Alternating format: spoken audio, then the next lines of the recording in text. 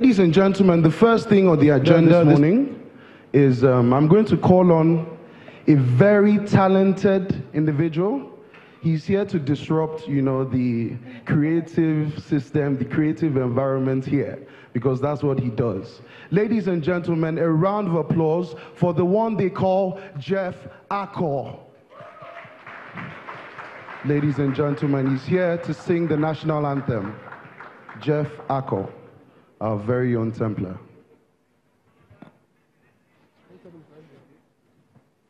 Please, could we, I would like to urge everyone to please be on your feet while we take the national anthem.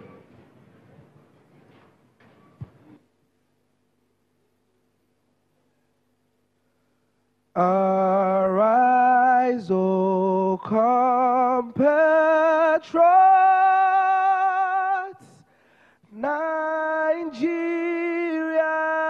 call obey to serve our fatherland with love and strength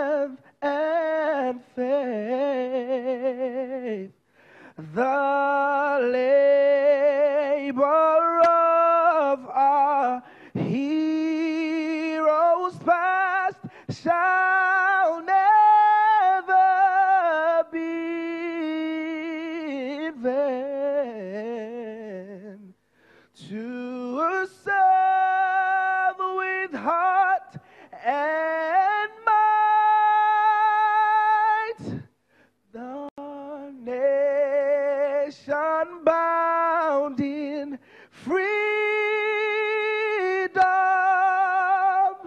peace, and unity. Thank you very much. Thank you so much, Jeff Akoh. What a great day to be a Nigerian. Once again, welcome everyone to the BRF Gabfest 2. Remember that we want you guys to share the experience that you're having here on all of your social media platforms. So if you take a picture, if something speaks to you and you want to tweet it, please feel free to do so. And don't forget to include the hashtag BRFGabfest2. Now, before we move forward, I think it's very important that we take a look back at the very first BRF Gabfest that happened last year. Now, I was here personally, and I can tell you for a fact that it was an absolutely beautiful outing. Now, there was, of course, a keynote address by our keynote speaker, His Excellency, BRF. There was also an address from Mrs. Ibukun Awosika, as well as two absolutely engaging panels. Last year was also pretty festive, as it happened to be BRF's birthday as well. So it was very interesting to celebrate all of that with the BRF Gabfest. But I'm going to stop talking right now because what better way to share the experience with you than to show you? We have a short 10 minute clip that shows the highlights from last year's BRF Gabfest. So if you can please direct your attention to the screen right now and yes, enjoy the experience that we got to enjoy last year.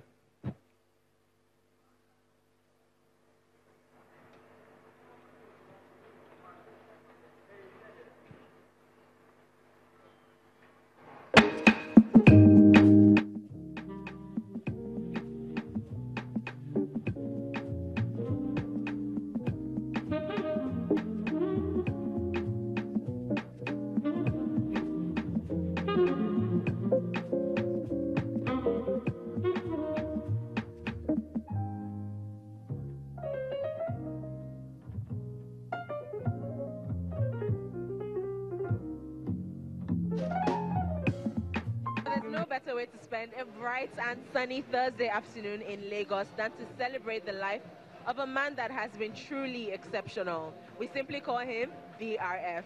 Now, we're out here today for what we've tagged Gap Fest 2018. It's the inaugural edition, and if you're not here, not to worry.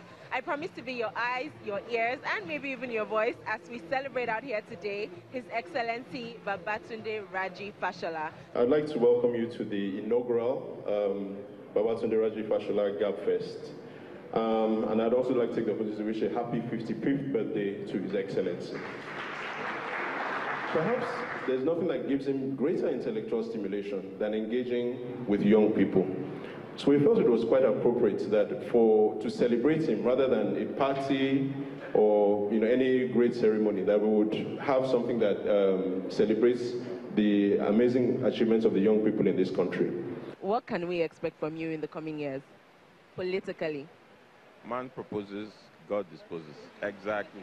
That answers it, yeah. Let's understand that wherever you are, whatever position you occupy, whatever opportunity you have, to influence things in order to create value for this nation by strategically empowering that huge population that is an energetic population that can deploy their energy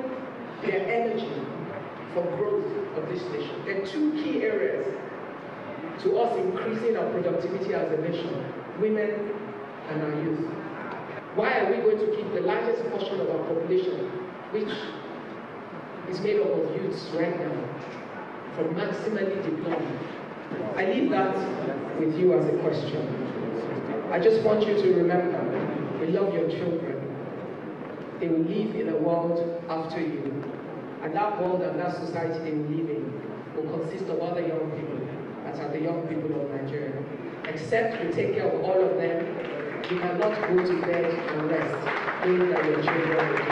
Thank you very much. We must have a conscious of training our own youth to get to the next level. You see, because when you look at the population, especially like today, 70% uh, of our population, they are below 35 years of age.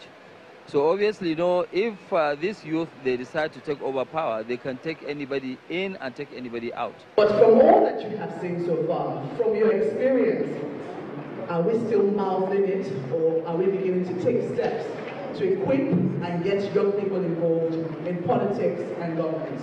It's not age that keeps people out of politics in the first place.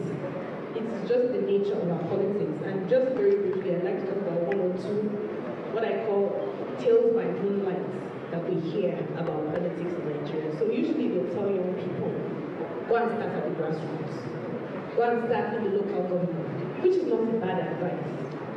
The way you um, use can get involved in politics as we speak right now is um, either through elective office, running for elective office, or through appointment.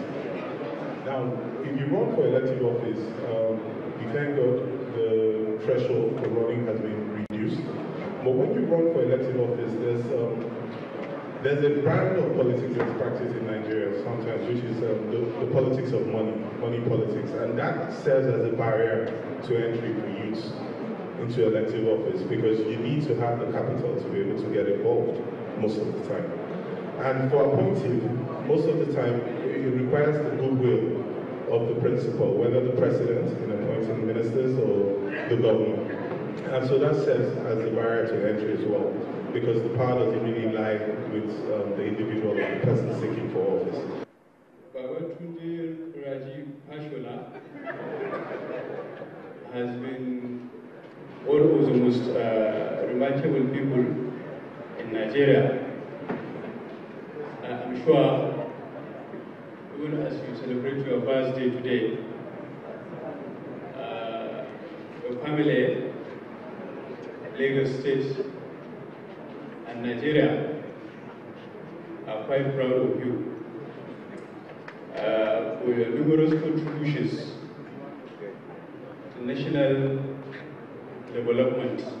Not many governors have, have, talked about the idea of calling entertainers, calling them together and say, come sit down I want to listen to you. Tell me what your problem is. Tell me how I can solve it. Tell me the direct places to do He did this over 20 times during his time in power. He go to the state house and sit down with eat and dine and wine with him. It happens all the time. And even though a lot of things didn't because of time, it gave us that confidence. And one thing that most youth need is confidence. What do you think is going to be Mr. Fashola's next step politically? Ah, well, the, the, next step, we leave that to God. Uh, we leave that to God. But uh, the most important thing that he has shown that he's very competent.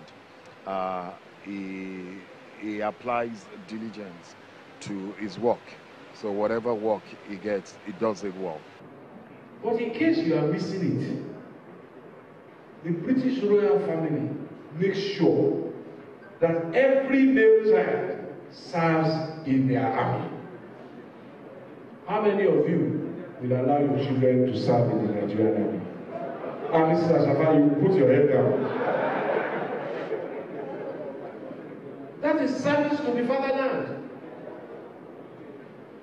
Many of us will allow our children to serve as doctors and nurses in the health center in the local council? That is where we need them the most. The primary health care center is where we can make the most impactful, uh, uh, strike the most impactful blow in reducing infant and maternal mortality. Primary schools are the place where foundational education is constructed. A for apple, B for boy. One, two, three, four. That's where it is laid.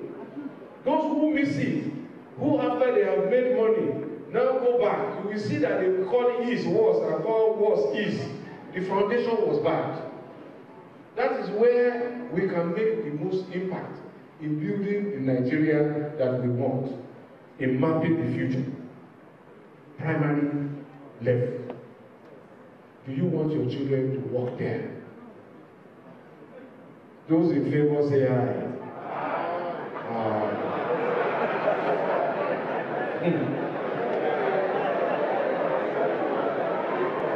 There are only 11,000 posts. What kind of policemen do we want? If the children you have invested so much of your money in and given the best education become that police force, will they behave the way that SARS was behaving? Think about it.